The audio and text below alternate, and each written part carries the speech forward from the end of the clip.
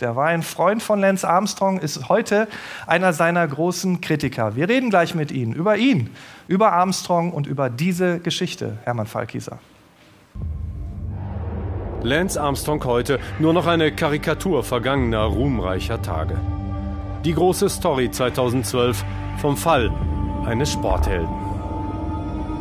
Der Zeitzeuge Hamilton hat die dunklen Machenschaften jetzt in einem Buch niedergeschrieben. Schockierendes Protokoll einer Doping-Ära. Tyler Hamilton oder wie dieser unscheinbar wirkende Mann aus Montana die Fassade eines der größten Sportstars der Geschichte mit zum Einsturz brachte.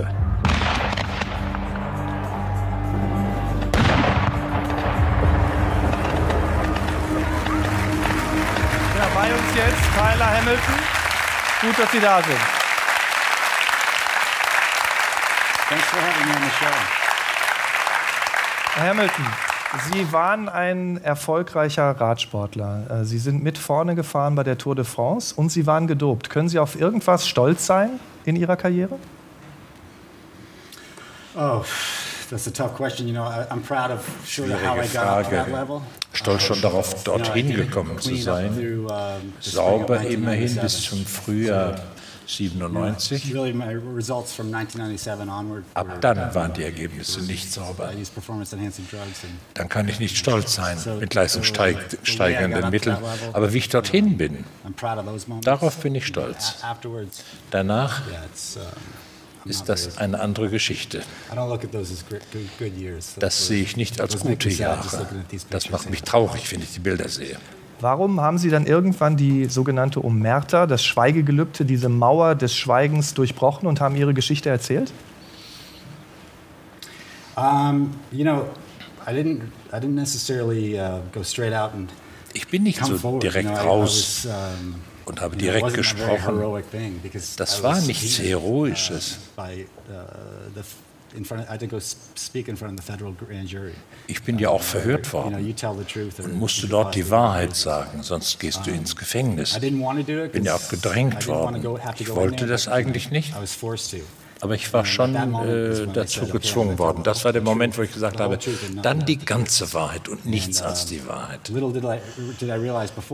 Mir war das vorher I gar nicht so klar geworden. Wenn ich einmal anfange, aber wie toll sich das anfühlt. Da war ein solcher Stau mit diesen Geheimnissen in mir.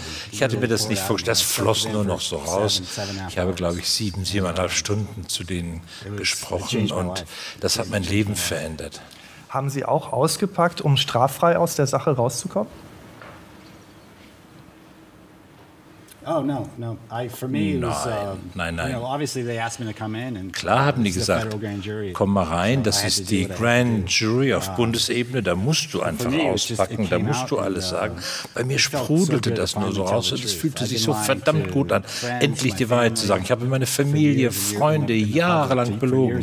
Die. Öffentlichkeit. And, um, hiding, hiding, basically hiding behind you know, closed doors for a long Mich time. versteckt. And it, it did it plenty of Nicht hinter verschlossenen. Türen uh, herausgekommen. Und das hat mich innerlich auch beschädigt. Ich bin ein taffer Typ, aber das war alles ein bisschen viel für mich. And finally when it came out, it Schwer zu ertragen. Und als das rauskam, da floss das nur noch so. Yeah, from that moment Und on, ja, von dem I Moment said, I an wanna- I wanna habe ich the truth gesagt, ich möchte die world. Wahrheit sagen. Aller Welt. Das the war grand der jury, Augenblick vor dieser Grand. Jury, die die Dokumente auf den Tisch legten. Zu Lance Armstrong haben Sie Folgendes gesagt. Ähm, Lance würde, wir sehen das auch gleich nochmal eingeblendet, Lance würde lieber sterben, als etwas zuzugeben. Das klingt martialisch. Warum ist das so bei Ihnen?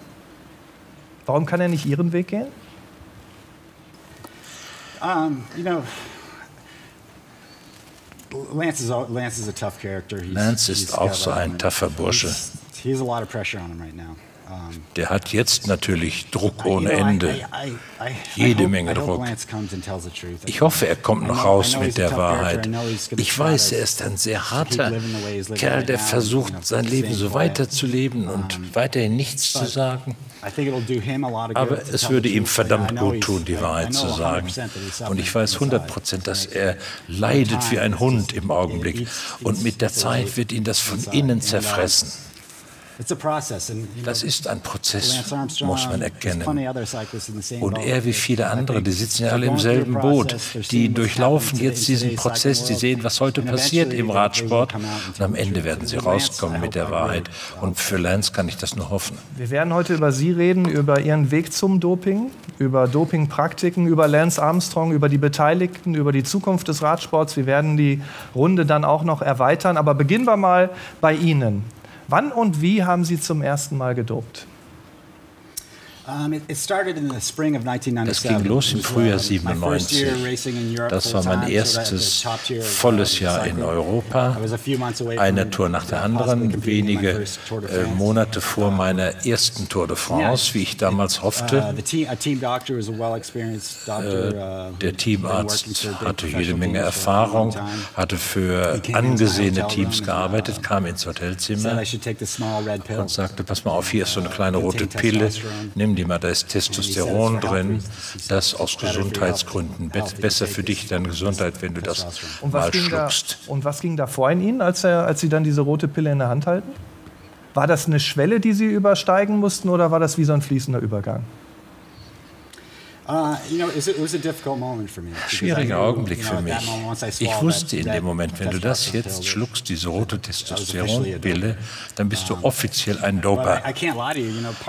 Aber zwei Herzen in meiner Brust die eine Hälfte fand das toll.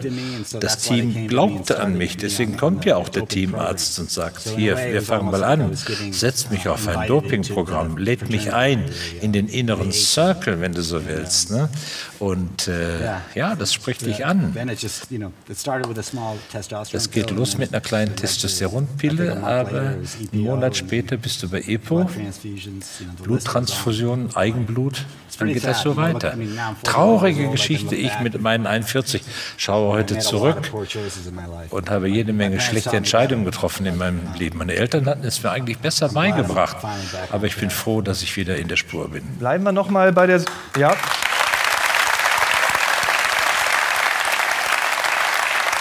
Bleiben wir noch mal bei der Situation. War das für Sie denn sowas wie die Entscheidung, entweder aussteigen oder mit Doping weitermachen? War das so zugespitzt?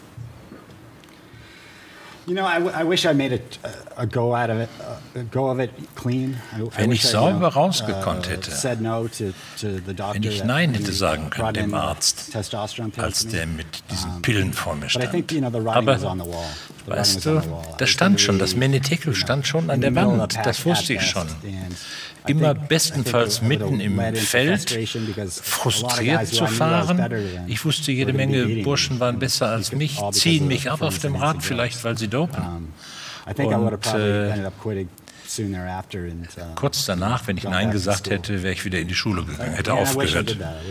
Ich, wollte ich jetzt getan. Viele standen ja vor dieser Situation. Nur damit wir mal die Größenordnung sehen, nach Ihrer Einschätzung, wie viele waren bei der Tour gedopt in Ihren Zeiten? Wie viel Prozent der Fahrer? Ja, wir sprechen von meiner Zeit damals. Für heute kann ich nichts sagen. Für das Feld von heute. Aber 80 Prozent Minimum damals. 80 Prozent. Konnte man unter die ersten zehn fahren ohne Doping?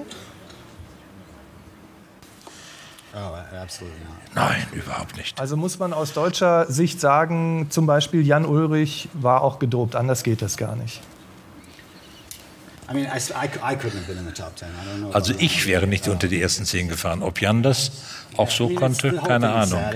Das ist eine traurige Geschichte. Das sind auch schwierige Augenblicke immer mit dem Radsport. Aber ich glaube, wichtig ist, dass wir jetzt alle Fakten auspacken aus der Vergangenheit. Wenn wir das nicht machen, wenn wir sagen, so was in der Vergangenheit, wie wollen wir etwas und warum? Wie wollen wir dann etwas über die Zukunft aussagen und einen guten Plan hinlegen? Die Vergangenheit muss aufgearbeitet werden, bevor wir uns an die Zukunft machen. Sie haben diesen Schritt gemacht. Es gab einen Leitsatz von Lance Armstrong, den Sie auch oft erwähnen in Ihrem Buch. Äh, auch den blenden wir noch mal ein. Was du auch tust, äh, sagen Sie beide da. Die anderen Scheißkerle tun mehr. Ähm, wie haben Sie Doping vor sich gerechtfertigt? Ja, yeah, I mean Klar, damals wusste ich natürlich, dass das nicht in Ordnung ist.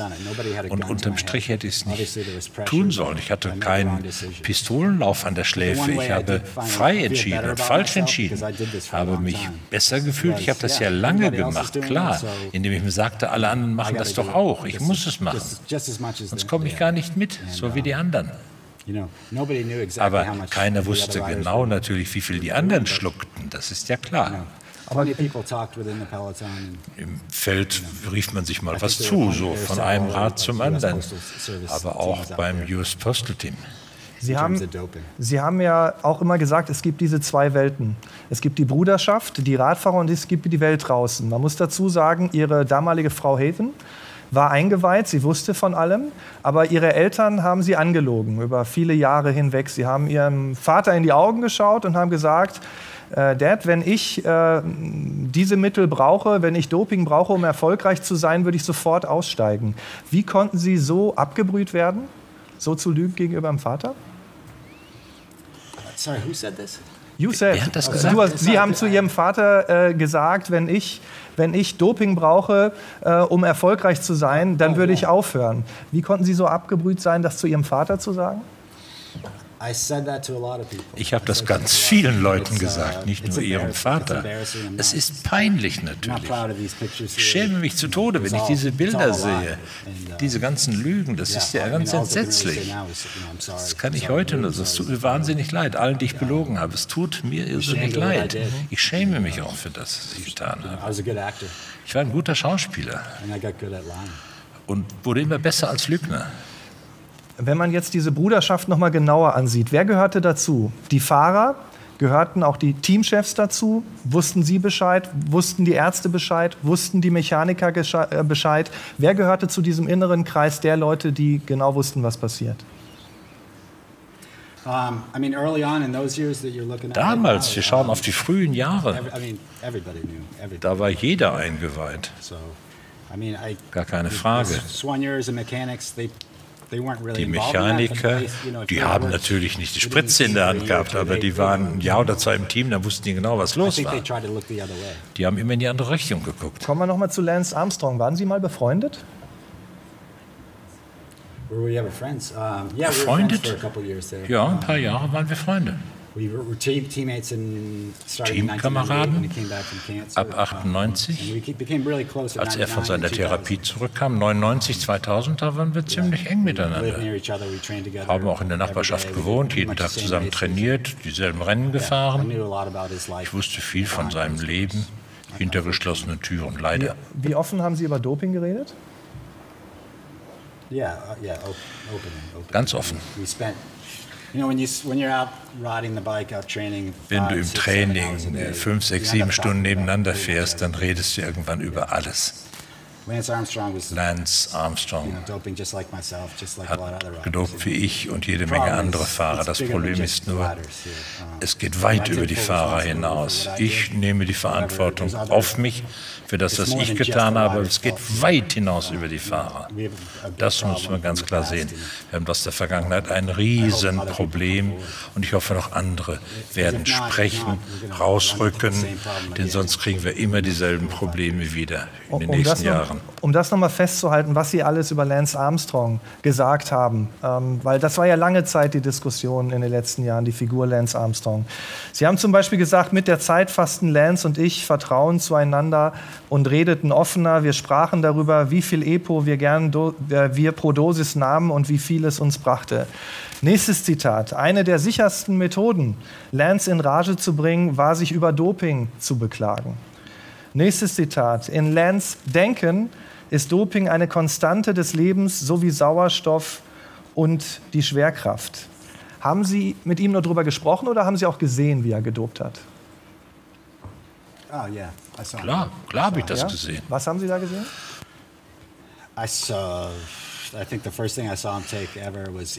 Das erste war EPO, was ich gesehen habe. Wie er es nahm E er hat mir auch was geliehen, hier ein paar Mal. Hier hast du ein bisschen was davon in meiner Laufbahn. Auch Bluttransfusionen durchzuführen, habe ich ihn gesehen.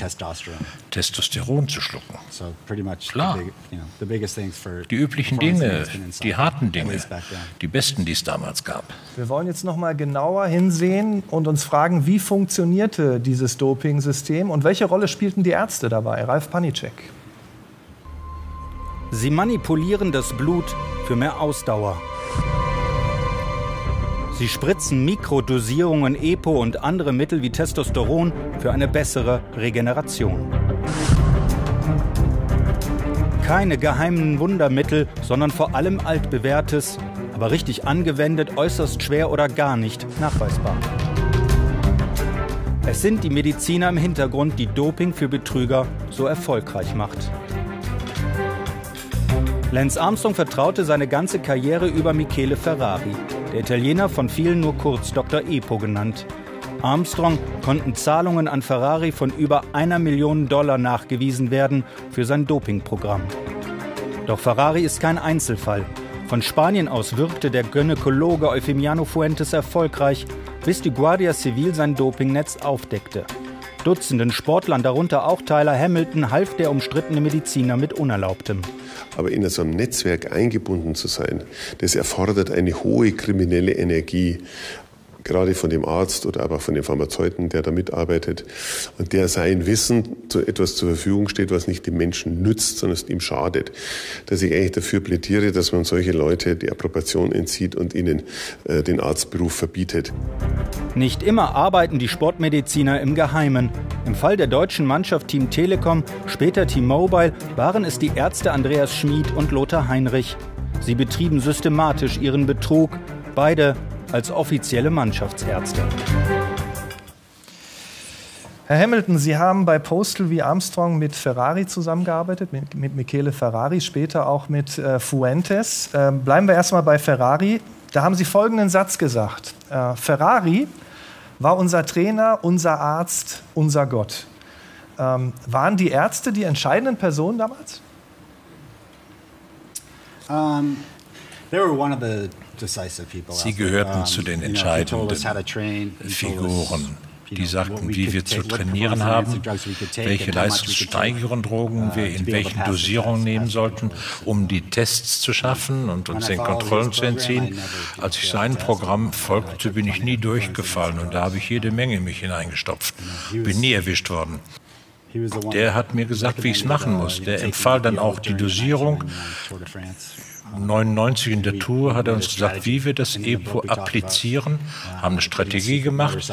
Ich habe es auch im Buch geschrieben, wie da ein geheimer Motorradfahrer hinter uns herfuhr, immer in der Nähe des Hotels blieb und dann den einen oder anderen Beutel, das Fläschchen mal äh, abgesetzt hat, das wir brauchten. Fanatiker, Radsportfan, kennt den Organismus, den menschlichen Körper, weiß eben auch jede Menge über leistungssteigernde Mittel. Und wir haben offenen Ohres hingehört. Gab es ein Wettrennen der Dopingärzte untereinander nach dem effektivsten Dopingmittel?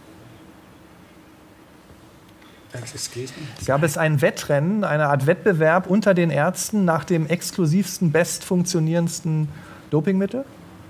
Uh,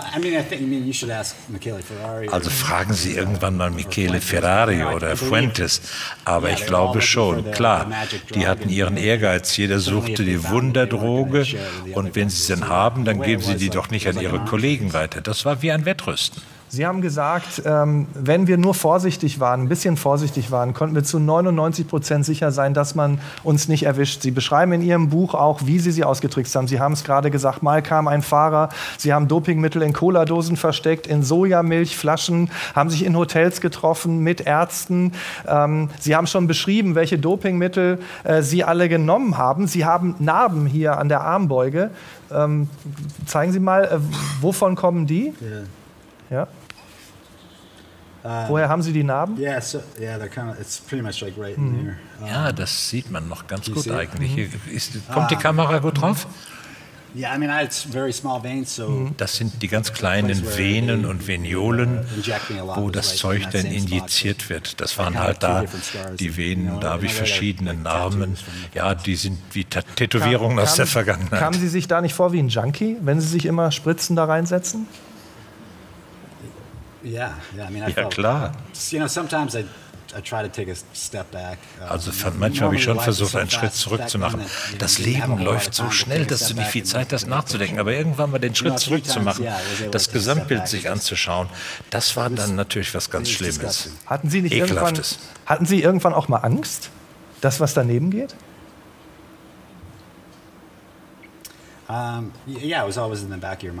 Natürlich hast du das immer im Hinterkopf.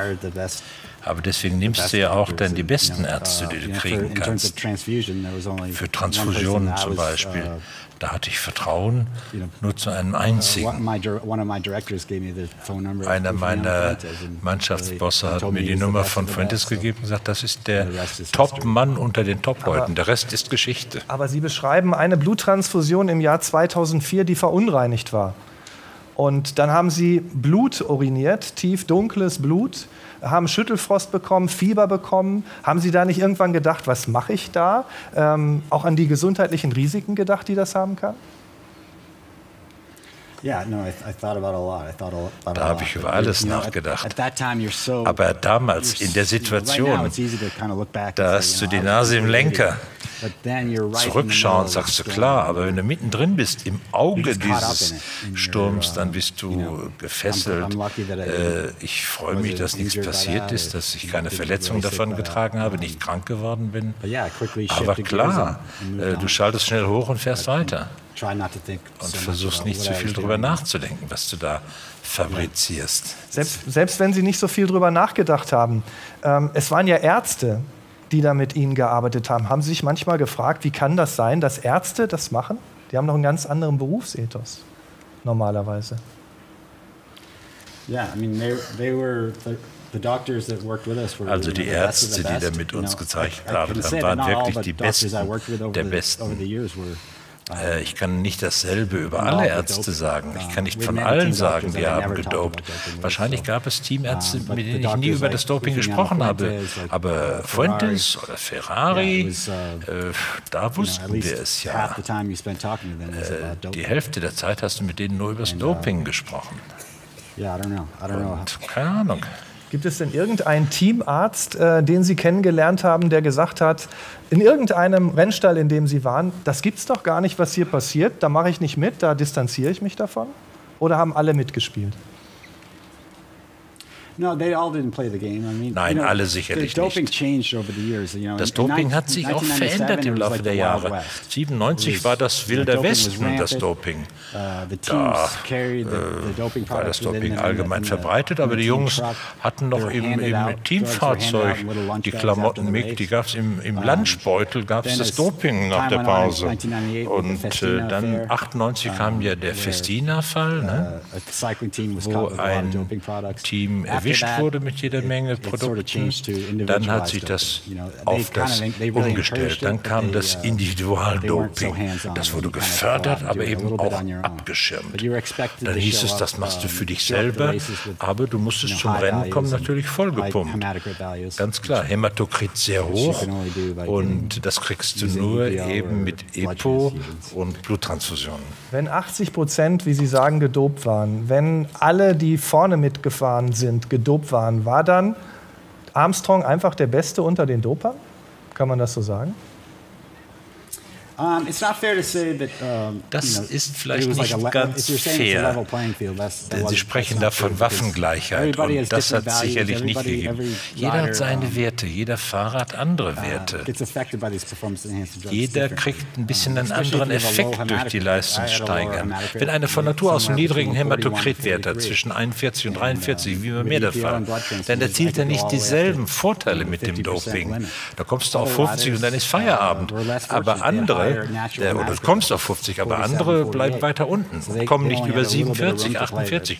Die haben nur wenig uh, Spielraum für die Steigerung des Hämatokrits. Lenz hatte einen niedrigen Hämatokritwert, soweit ich mich erinnern kann. Aber Ken und ich, wir waren da ein bisschen besser ausgestattet. Hatte, hatte Lance Armstrong denn auch exklusiven Zugang zu Dopingmitteln, die vielleicht kein anderer bekommen hat?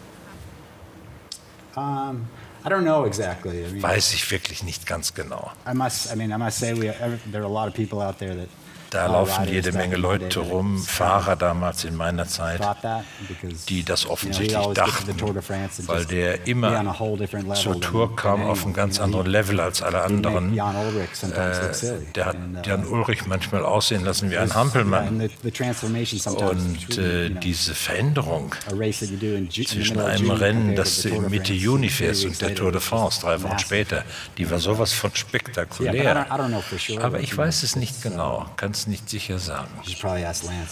Aber musst du Lance fragen. Äh, man fragt sich natürlich, wie konnte er so lange, Lance Armstrong und viele andere, aber vor allen Dingen Lance Armstrong, so lange damit durchkommen? Und in dem Zusammenhang fragen wir uns auch, welche Rolle spielte dabei der Weltverband, die UCI? Wir begrüßen an dieser Stelle Silvia Schenk. Sie waren von 2001 bis 2004 Präsidentin des Bundesdeutscher Radfahrer und sind jetzt im Vorstand von Transparency International, einer Organisation, die Korruption bekämpfen will. Herzlich willkommen hier bei uns im Sportstudio. Frau Schenk, wollte, wollte die UCI, wollte der Weltverband Armstrong überhaupt erwischen? Also nach dem, was man mittlerweile weiß und was man aus dem USADA-Report äh, über den Fall Lance Armstrong entnehmen kann, muss es sehr viel mehr Informationen bei der UCI spätestens ab 2001 zu möglichem Doping bei Armstrong gegeben haben.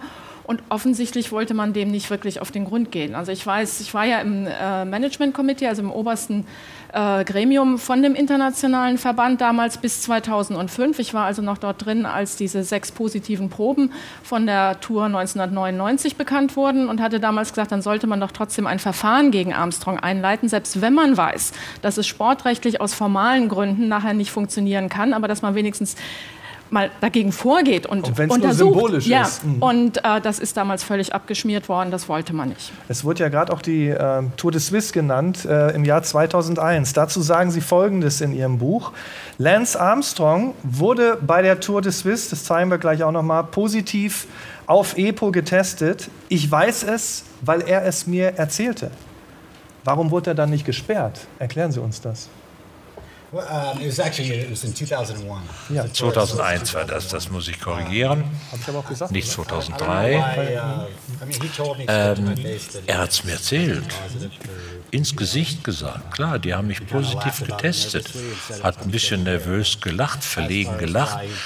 Das müssen wir irgendwie handeln, hat er gesagt, damit es keinen positiven Test gibt in den Büchern. Ich weiß nicht genau, was gemacht wurde, aber die haben was gemacht.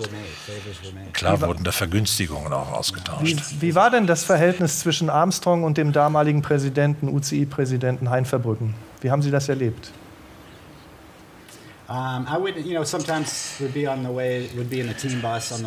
Manchmal waren wir gemeinsam im Teambus zum Etappenstart und Lenz am Telefon und wählten eine Nummer und äh, Hallo Hein.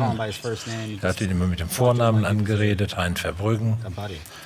Äh, klar, das war ein Kumpel. Das hat mich immer überrascht. Armstrong hat ja auch beträchtliche Summen gespendet. Äh, die UCI hat 125.000 eingeräumt. Es ist aber auch von 500.000 die Rede, die Armstrong der UCI gespendet hat. Diese Zahl haben Sie mal genannt, aber auch Greg Lemond hat diese Zahl genannt. Aber egal, ob es jetzt 100.000 sind oder 500.000 sind, ähm, wie bewerten Sie das? Ist das okay, solch eine Spende anzunehmen? Das ist nicht okay und vor allen Dingen nach dem, was man jetzt weiß, mit der Probe von der Tour de Suisse. Es steht ja auf jeden Fall fest nach dem USADA-Report, dass es damals eine auffällige Probe gab. Äh, es ist noch unklar, weil äh, die UCI dazu die Werte nicht rausgerückt hat, die sie aber wohl noch hat von Lance Armstrong damals, ob das äh, ein Nachweis von EPO, aber unterhalb dem damaligen Schwellenwert war, also insofern nicht richtig positiv, oder ob es ähm, entsprechende Blutwerte waren. Aber es gab eine auffällige Probe und spätestens dann, wenn man weiß, da könnte ein Dopingvergehen vorliegen, darf man schon überhaupt nichts mehr annehmen. Ich bin aber auch sonst der Meinung, dass ein Verband, der einen Athleten zu kontrollieren hat, von dem kein Geld und keine sonstige Vergünstigung annehmen sollte. Wir haben, ja. Wir haben Heinz Verbrücken. Wir haben Heinz Verbrücken eingeladen zu uns in die Sendung. Er hat gesagt, er gibt zu dem Thema momentan aber keine Interviews, genauso wie Pat McQuaid, äh, der aktuelle Präsident des UCI. Aber trotzdem haben wir Pat McQuaid vor vier Jahren mal zu diesem Thema Spenden gefragt. Und das hat er gesagt. Wir haben eine Spende von Lance Armstrong erhalten, ja. Das war aber bevor ich Präsident wurde. Es war eine relativ kleine Summe und sie wurde dazu verwendet, ein Blutanalysegerät anzuschaffen, um eigene Tests durchführen zu können. Ich habe damit kein Problem. Was sagen Sie dazu, Frau Schenk? Also das Problem ist zunächst einmal, dass Geld angenommen wurde. Das wird, ja, das wird nicht mehr bestritten. Das aber über die Jahre, erstmals 2004 gab es eine kurze Notiz dazu und ab 2005 wurde dann immer wieder darüber gesprochen, dass sowohl Lance Armstrong als auch Pat McQuaid als auch Hein Verbrücken immer unterschiedliche Angaben gemacht haben. Was wurde gezahlt, wie viel, ein, eine Zahlung, zwei Zahlungen oder wie viele auch immer. Da haben die sich wechselseitig und ineinander widersprochen. Also Pat McQuaid hat sehr unterschiedliche Version dazu abgegeben. Und eins weiß ich ganz genau. Hein Verbrücken hat immer gesagt, er sei so stolz darauf, wie gut die Buchhaltung bei der UCI ist. Und wenn die Buchhaltung gut ist, dann kann man einfach die Bankauszüge vorlegen und kann man sagen, da ist die erste Zahlung eingegangen, da ist die zweite Zahlung eingegangen und das haben wir damit gemacht. Und die haben sich bis heute geweigert, auch nur irgendetwas an Dokumenten vorzulegen. Und das zeigt, dass da irgendwas nicht in Ordnung ist. Also mit anderen Worten, wo bleibt die Transparenz? Genau. Okay. Ähm, wenn wir sehen die Rolle von Lance Armstrong, der Weltverband hat ja einen Prozess angestoßen vor einigen Jahren, der in Richtung Internationalisierung geht. Neue Märkte erobern, äh, neue Märkte erschließen. Wie wichtig war die Figur Armstrong da für einen Weltverband? Oh, he, he was their golden boy. He was their money maker. Der war der Golden Boy. Die Cash Cow. Der Geldbringer, der hat jede Menge Geld aufgerissen und macht das immer noch, heute noch. Man muss dazu sagen, Verbrücken ist ja nicht zurückgetreten. Er ist in gewisser Weise aufgestiegen, ist jetzt Vorsitzender der nicht-olympischen Sportarten, äh, ist ähm, auch ähm, im, im, IOC. Ähm, würden Sie sagen, er und auch Pat McQuaid, in der Politik sagt man, das Wichtigste ist das Amt, dass es unbeschadet bleibt. Äh, finden Sie, Verbrücken und McQuaid sollten ihre Ämter zur Verfügung stellen? Also aus meiner Sicht haben sowohl McQuaid als auch Verbrücken jegliche Glaubwürdigkeit verloren. Deshalb wird es für Sie zumindest sehr, sehr schwierig sein, oder erstmal für McQuaid in der Rolle als UCI-Präsident, das zu leisten, was jetzt passieren muss. Tyler hat es ja schon gesagt, die Vergangenheit muss aufgearbeitet werden und vor allen Dingen muss es auch neue Strukturen für die Zukunft geben. Äh, ich kann mir schwer vorstellen, wie die das hinbekommen wollen. Und man muss sehen, dass Hein Verbrücken als Vorsitzender von Sportakkord nicht nur für die nicht-olympischen, sondern für alle internationalen Spitzenverbände, einschließlich der olympischen zuständig ist und sich dort immer gerade jetzt für Good Governance und Integrität einsetzt. Und wie er das glaubwürdig rüberbringen will, das möchte ich auch gerne wissen. Sollten die beiden zurücktreten?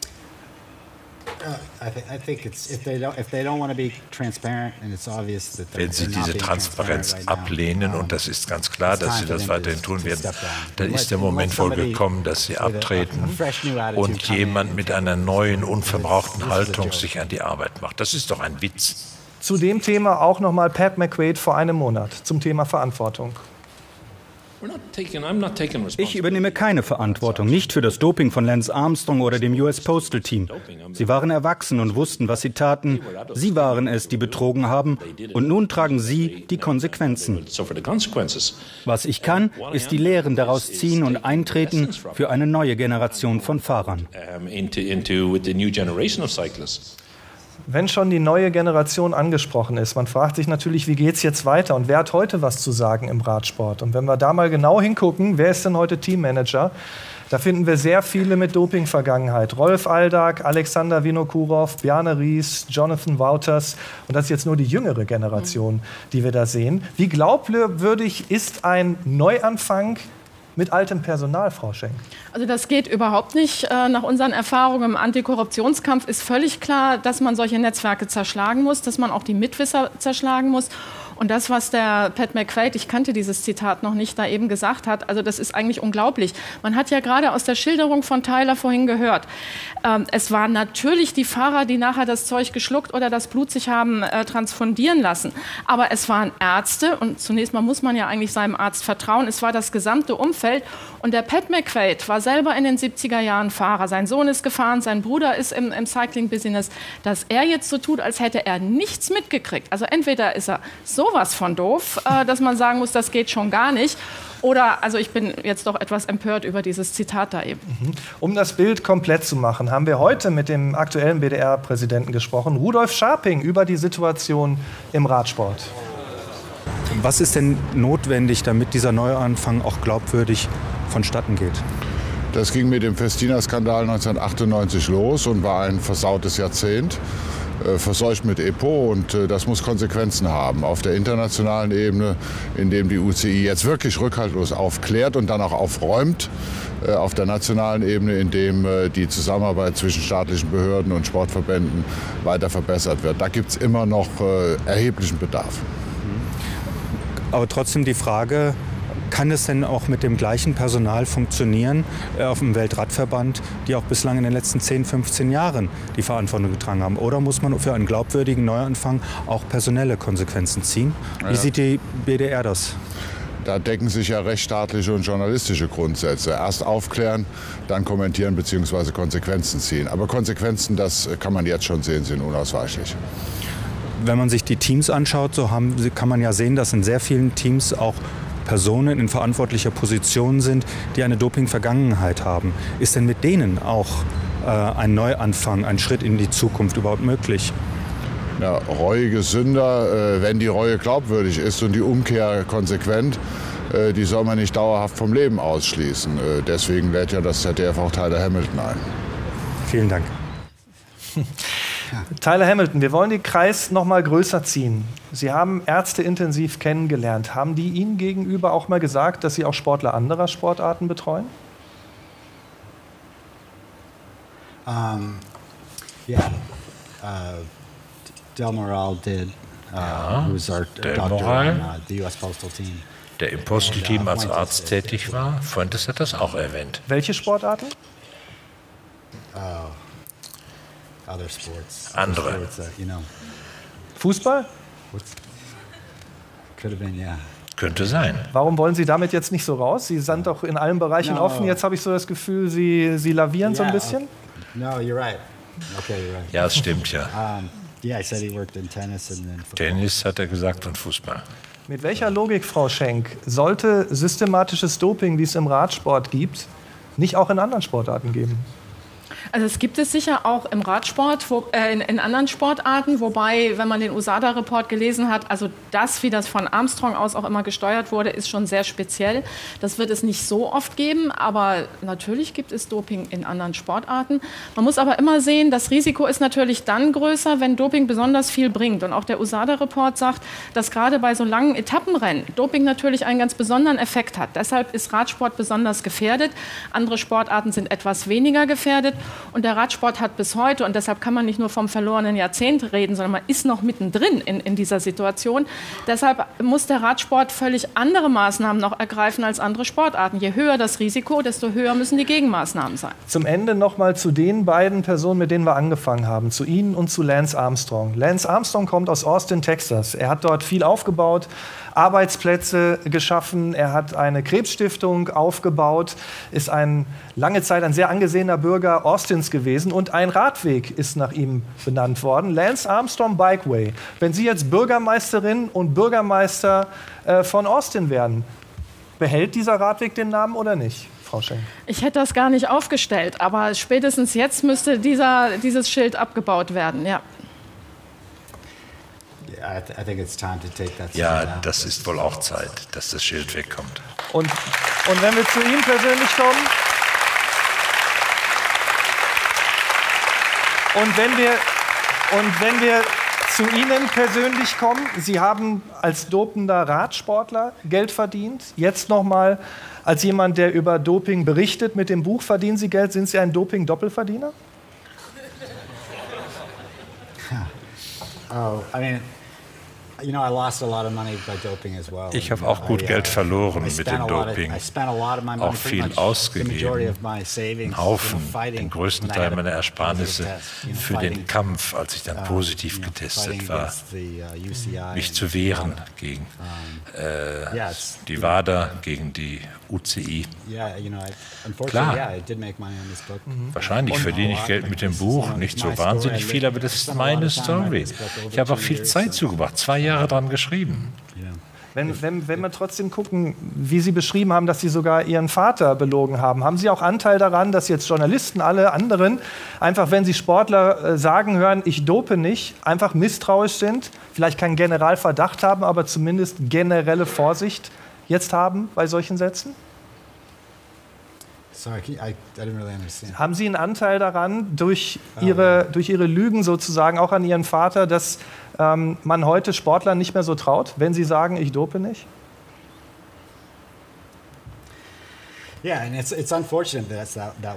Das ist leider so. Meine Vergangenheit hat dazu beigetragen, dass die Leute heute natürlich auch die sauberen Fahrer von heute verdächtigen. Das tut mir leid. Alle wollen schönen Sport sehen und an die Bilder glauben, die sie da sehen klar. Alles, was ich tun kann, ist Hilfe anbieten und ich will mich engagieren. Dafür bin ich da heute. Ich möchte nicht das generell Misstrauen. Äh, ich möchte, dass die Leute ihre Helden haben. Letzte Frage. Wir wissen, Sie leben in Montana. Wir haben Bilder gesehen. Wie geht es Ihnen heute? Oh man, you know, I'm a little tired. I've been. oh man. It's been a little. It's been busy the last couple months, but uh, ist ein bisschen viel los seit ein paar Monaten, aber es geht mir doch auch viel viel besser. Ich habe das Gefühl, einen Neuanfang im Leben geschafft zu haben. Diese lange Zeit mit Lügen vor aller Welt, auch nach dem Karriereende weitergelogen. Also, ich hatte das Gefühl, ich muss diese Omerta, dieses Schweigegelübnis mit ins Grab nehmen, habe ich eine Weile geglaubt. Aber ich habe nicht gedacht, dass das mit dem Buch irgendwann mal so rauskommt. Aber ironischerweise gab es ja diese bundesrichterliche Untersuchung, wo ich die Wahrheit sagen musste. Und was Besseres hätte mir nicht passieren können. Es kam raus und es ist raus. Und ich bin glücklich darüber und äh, freue mich über diese Veränderung meines Lebens. Ich bin sehr glücklich verheiratet. Wo sitzt sie? Uh, Wir haben gerade unseren ersten Hochzeitstag begangen. Lindsay, wo sitzt du? Ja.